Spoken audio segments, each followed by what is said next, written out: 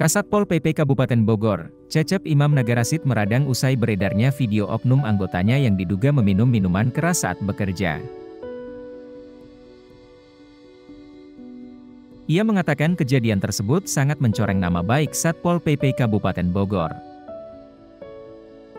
Mantan camat Babakan Madang itu pun sangat menyayangkan kelakuan buruk yang dilakukan oleh anak buahnya.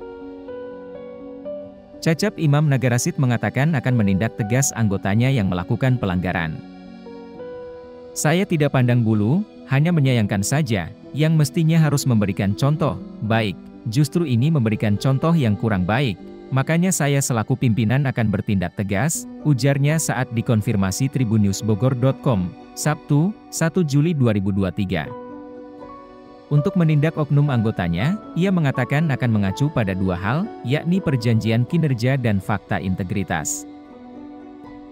Dari dua hal tersebut, kata dia, sudah sangat jelas jika terbukti bermasalah maka ancaman sanksi yang akan diterima ialah pemberhentian secara tidak terhormat atau pemecatan.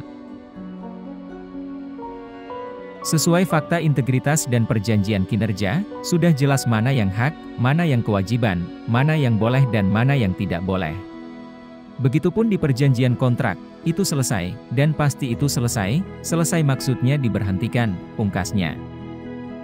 Sebelumnya diberitakan, beredar sebuah video berdurasi 14 detik yang menunjukkan oknum anggota Satpol PP Kabupaten Bogor yang diduga sedang meminum minuman keras.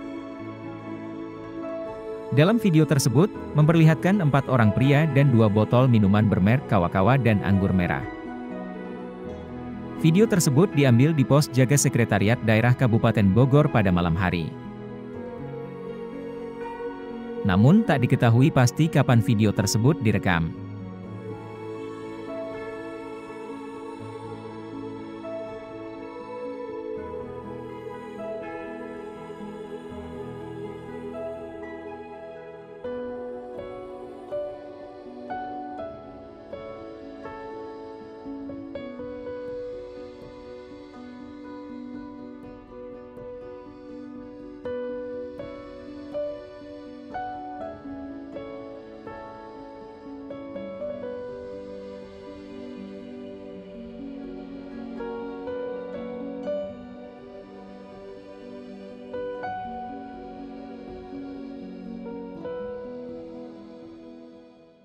Terima kasih sudah nonton.